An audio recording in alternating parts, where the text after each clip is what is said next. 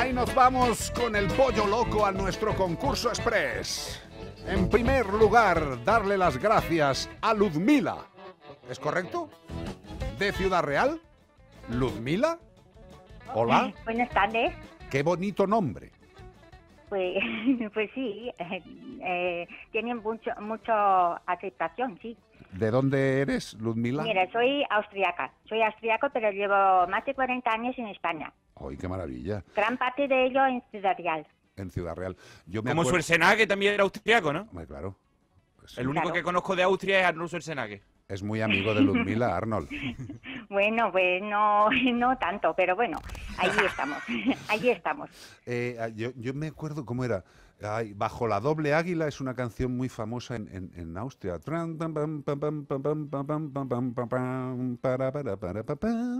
No, Anda, ahora... que lo conoces y todo, vaya. Pero, pero sí que es famosa. ¿Pero ¿Tú te allí, la ¿no? conoces? Hombre, Mila, ¿tú, sí. ¿tú, sabes esa canción? ¿Tiene letra? Eh, bueno, pues ya no tanto, porque hace muchos años que ya no canto esa canción. Pero Por es... lo tanto, ya no estoy tan al es, tanto. Es una marcha, no sé si militar, sí. pero es muy bonita. Es ah, pues entonces letra tendrá poca, ¿no? Hombre, es muy bonita. La, la está eh, buscando. Eh, además, como sabéis, Austria es el país de, de de la música y de la Totalmente. danza. Hombre, perdóname. Claro, claro. De- eh, yo se lo recomendaría a todos cuando pase el confinamiento, que está muy bien que venga gente a nuestro país, que mm, además vivimos de ello en gran medida, pero del entorno europeo, yo vamos, lo que es Austria de arriba abajo se lo recomendaría a todo el mundo. Me parece, Por supuesto, me por parece supuesto. precioso. Hay que conocer Austria. Totalmente de acuerdo. Yo iré a Viena tan pronto pueda otra vez. Pero para ver a mis compañeros veterinarios allí con los caballos en la escuela de equitación, que es una pasada. Hay mil cosas en Austria muy Oye, bonitas. y una cosita, Ludmila, Ludmila, Ludmila eh, tiene dos gatos. ¿Qué me dices? Dos gatos no adoptados. tengo- Bueno, tienes más, ¿no? Tengo muchos gatos adoptados. Bueno, pero dos de ellos, que me has hablado antes de ellos por WhatsApp, Sí. eh, pues ¿qué tienen? ¿Qué es lo que les pasa? Pues no es que le pasa nada, solamente que son dos gatos que son positivos a leucemia. Y no pasa nada por ello. No pasa nada por ellos porque aparte de ellos dos, sus dos hermanos, que justamente hoy, hace un año que les hemos podido rescatar, Ajá. de, de un problema mm, en la calle que habían eh, atropellado a su mamá Oh. y yo supe que tenía cachorros. Así que me he puesto a buscarles durante varios días y mm, he tenido muchísima ayuda de otras a- asociaciones y también amigos míos me han ayudado a buscarlos y al- finalmente se han encontrado. Qué bien. Porque mucha gente les tira para atrás. Bueno, los animales que, los gatos que tienen leucemia e inmunodeficiencia, pues muchas se tar- tardan muchísimo más en ser adoptados en el caso de que lleguen a ser adoptados. Y pueden tener una vida, pues, normal. Perfecta, perfecta. Tanto, tanto como que sigo con los cuatro en mi casa. Al final los he adoptado yo porque no había manera de que salieran. Y voy a hacer una pregunta que quizás no debiera hacer. ¿Cuántos gatos tienes, Ludmila? Mira, te lo confieso, tengo ahora mismo 29 gatos en casa. Nada más. Mm, Nos ganan, ¿eh? Nos ganan. Y mira que es complicado, y yo, ¿eh? y yo- y yo me quejo con seis, Ludmila. Pues no, no nos vaya a dar el nombre uno por uno porque no tenemos tanto tiempo de programa. no, no, no. o sea, No, pero lo apuntaré algún día y se lo mandaré por WhatsApp. Sí, mándanoslo por WhatsApp, por favor, porque Sí. queremos tener todos los nombres de la familia de Ludmila. Eh, Y, y bueno, pues. Claro, nos están preguntando por aquí, David, que qué casa tienes, porque tendrás una casa grande para tener 29 gatos. No. Mira, tengo una casa que tiene jardín, ten- tengo, pues está prácticamente eh, a- eh, con árboles y con todo tipo de cosas que pueden subir y bajar, y Bueno. pueden salir y entrar. entonces es como Y si tuvieras tres. Tienen, tienen libertad de Claro. andar por toda la casa. Claro, Pues muy bien. así así sí. están, están. Eh, ¿Les parece poco a los Son gatos? familia, son familia de, de casa. Oye, Carlos, y una pregunta. eh, con el tema de la leucemia y la inmunodeficiencia, que es una duda que tiene mucha gente, ¿un gato que es positivo a inmunodeficiencia o leucemia puede convivir con gatos sanos? Puede perfectamente convivir con gatos sanos. eh, los gatos sanos tienen que estar vacunados con su prevención sanitaria y lo importante es que tengan todos una esterilización porque así están más tranquilos, en las épocas de reproducción no están tensos y no se pelean, que es una de las formas de contagiarse cuando hay leucemias e inmunodeficiencia. Por los mordisco. mordiscos. Exacto. Y bueno, pues a la gente, si te estás planteando adoptar un gato y no te importa adoptarlo con una de estas enfermedades, que no pasa nada, eh, hay una protectora que está especializada en estos casos, que nosotros la, la, pues la ayudamos cuando podemos, que se llama Christy Cat. Se hace una labor impresionante, esta chica está sola, antes estaba con su padre y lamentablemente falleció, se ha quedado sola. Y tiene todos animales con, yo creo que todos o casi todos con Christy inmunodeficiencia. Cats. Christy Cats. Así que yo creo que o para ayudarla o para adoptar, pues Sí, está muy bien. Y ya me voy. Apúntatelo, Luzmila. No, no te lo apuntes, pero Luzmila, tú pero ya- no- pero no. no cojan más Luzmila, por Dios. No, si no quiero, lo que pasa es que estamos justamente pendientes de rescatar uno, pues llevamos ya al menos tres días eh, pendientes de este gato que he tenido que pedir ayuda al ayuntamiento para que nos abran la verja del recinto donde está el pobrecito malherido Vaya. y necesitamos eh, rescatarlo. Eh, vamos a ver, eh, solamente comento una cosa que Lo es que muy quieras. importante. Es muy importante, pues que yo trabajo, bueno, no es que trabaje, sino que colaboro con asociaciones aquí en Ciudad Real y, y también, eh, pues prácticamente por toda España. Y, entonces lo que es muy importante, pues que las aso- asociaciones eh, reciban ayuda porque son ellos los que eh, mm, recogen muchísimos animales. Totalmente. Eh, mira, eh, es evidente que ante la pandemia que estamos viviendo parece que la importancia se ha de centrar sobre el ser humano. Eh, a mí me parece relativamente justo. La pandemia está afectando a todo el entorno, personas, animales y naturaleza. Y hay que estar pendiente de todos. Y desde luego las entidades de protección que siempre han estado ayudando sin pedir un duro, bueno, aunque lo pidieran, tampoco la administración en general se lo ha ofrecido nunca. Eh, yo creo que ahora también es momento de que las administraciones piensen en ello. De todas formas, también te digo una cosa, Luzmila. eh, desde la Fundación Mascoteros a todos los que podemos ayudar, os ayudamos. Con lo cual, ahí, ahí está también. ¿eh? Eh, y hay mucha gente que puede ayudar.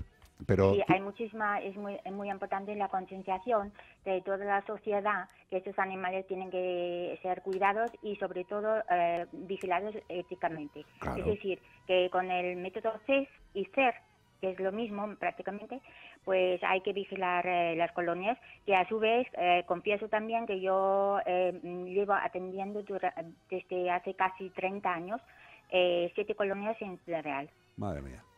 Y de forma particular, ¿eh? de forma particular y bueno, eh, llevo muchísimo tiempo con eso y he estado reivindicado en el eh, Ayuntamiento de Ciudad Real que finalmente sí que se ha conseguido, que se ha empezado a hacer el mes- método CES, pero claro, como no hay una, una ayuda, es decir, una partida presupuestaria desde el ayuntamiento que se puede seguir, Ajá. pues hay que, hay que esperar un poquito. Bueno, Pero por suerte tenemos ahora una mm, eh, concejala de medio ambiente que se preocupa y creo que allí vamos a avanzar un poquito en Ciudad Real. Esto, esto es verdaderamente curioso lo que has dicho, Luzmila, porque en realidad cuando hay eh, ayuntamientos, comunidades autónomas que defienden el tema de los animales abandonados, generalmente da absolutamente igual del partido que sean. Son personas con interés, punto y final. Eso es. Y ya está. Oye, tú, tú habías entrado para el concurso, pero a mí me encanta la conversación que estamos teniendo, pero yo creo que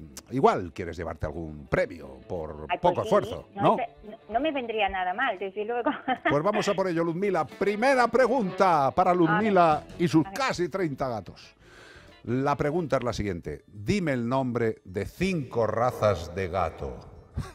Ay, madre. ¡Ay!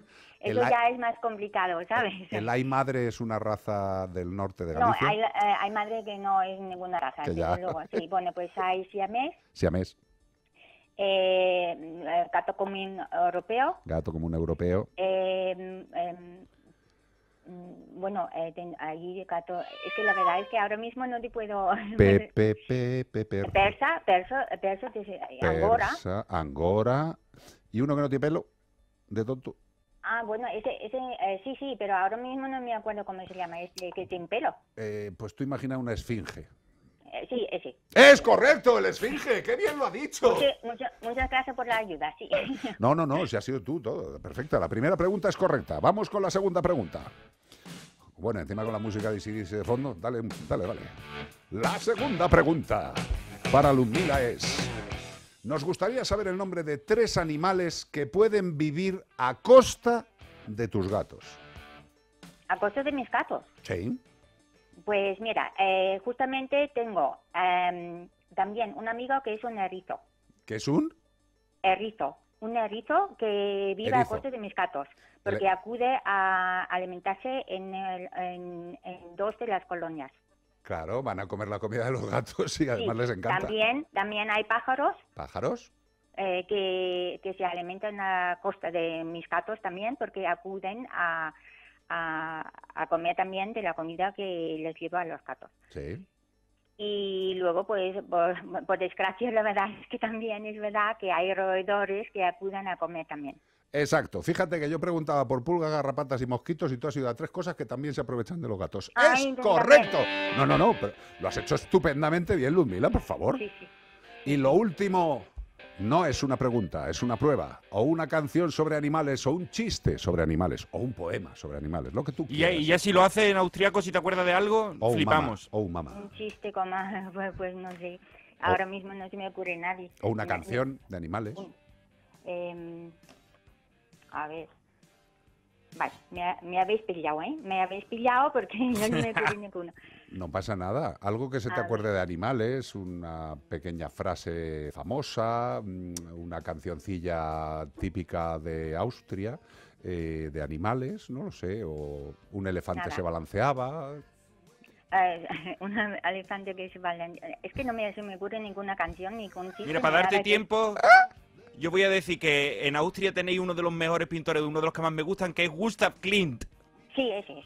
Sí, sí. Ese, ese es austriaco, ¿eh? Es austriaco, es austriaco. Muy bien, has visto la cultura, que es- tenemos una cultura que nos, nos fluye. Todo el mundo conoce el beso de Gustav Klimt, esas personas estiradas y tan extrañas que se dan Sí. besos. Bueno, de, hecho, se eh, no solo pinta, sino que hace es un artista muy completo. Era, Sí. era, claro. Claro. El pobre. bueno eh, Ya pinta poco, sí. escuchadme una cosa, no va a cantar canción ni chiste ni nada, pero la conversación que hemos tenido antes del concurso te da la tercera prueba como superada. Sin ningún Te tipo de convalida, te convalida la- la convalida charla. Totalmente. Muchísimas gracias. eh, muchísimas gracias, sí. Oye, Pues. que dime. gracias, no, no, gracias a ti por todo lo que haces por los animales, cariño. Gracias. Pues, de mm, corazón, de corazón. sí. Que muchas veces eh, se llevan o nos llevamos los vítores y, y- y los parabienes del mundo los que se nos ve. Pero hay gente que hace un trabajo diario durante muchos años. De y- hecho, y no se durante muchísimos años he, he ido conociendo muchísima gente que se desvive por los animales. Totalmente. Y hace un trabajo eh, enorme, enorme, enorme. Totalmente. Luzmila, que millones de besos, que te mandamos un regalazo y que si necesitas cualquier cosa, eh, quédate con el teléfono de Bea, de la Fundación, y ahí nos tienes, de verdad, de corazón. Muchísimas gracias, Carlos, y a todo el equipo. Gracias, besotes grandes. Hasta luego, adiós, adiós. Thank